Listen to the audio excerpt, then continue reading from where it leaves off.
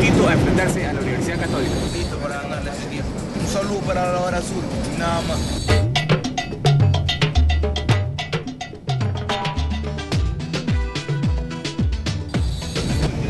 Por favor, miren ahí a mi pana. El alisado no le duró ni 10 minutos. ¿no? Buen pelo.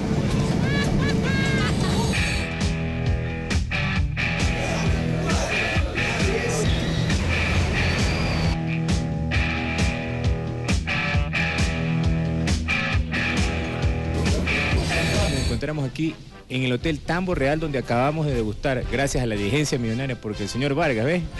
Presupuesto de a 2 dólares la comida, ¿no? Estamos acá en Foca, mira, hemos degustado un, un buen buffet, desayuno, slash almuerzo. Y de repente nos encontramos con la grata sorpresa de que el señor Cristian Gravinsky, que al principio no estaba considerado en la delegación, se encuentra. Así que le vamos a hacer una pequeña entrevista al señor Cristian Gravinsky. Cristian, ¿cómo estás? ¿Qué, qué- espérate un ratito, ¿qué tal el partido? ¿Cómo es el partido de hoy día? Ya me estoy recuperando de la lesión. Y te veo un poco más flaco, ¿no?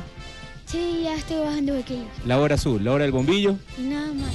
Hola, hinchada, ñañito, ñañito, todo calmadito. Yo soy el hijo de María La Vitere. Soy su fanático de Melec.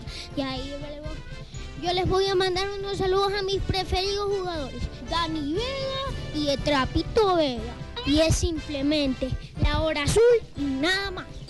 Amigos melexistas, no hagan mucha bulla porque el señor Vargas se encuentra trabajando. Señor Vargas, ¿cómo trabaja?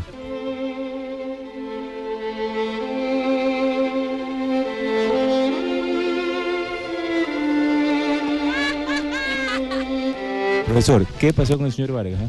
Bueno, creo que le ha afectado la altura. Es un hombre que no, ha sido- no se ha preparado para llegar acá a la capital, por lo tanto, yo creo que se tiene que regresar inmediatamente a Guayaquil. Por favor, consigamos una ambulancia urgente. Hay que llevarlo urgente a la maternidad, caballero.